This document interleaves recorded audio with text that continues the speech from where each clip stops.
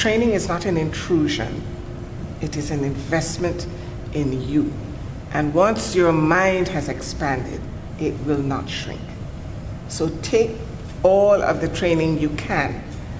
embrace it, and exploit it to your advantage. We believe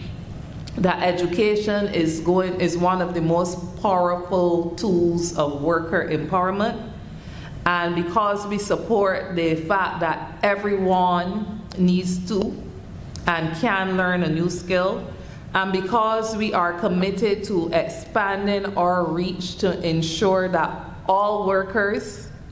all workers have access to affordable education and training,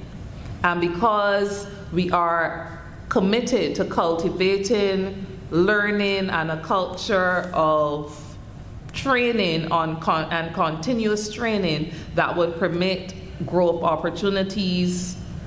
not only to empower our workers, but we see how and we know how that transcends to an entire society